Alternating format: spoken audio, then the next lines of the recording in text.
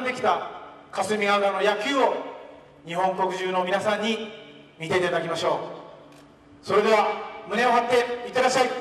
皆さんの思いを力に変えて、えー、甲子園一生みんなで効果をということで、えー、頑張ってまいります。この霞ヶ浦高校で学んだことを甲子園でも発揮したいと思います。皆さんに恩返しできるように自分たちも全力で頑張るのでよろしくお願いします。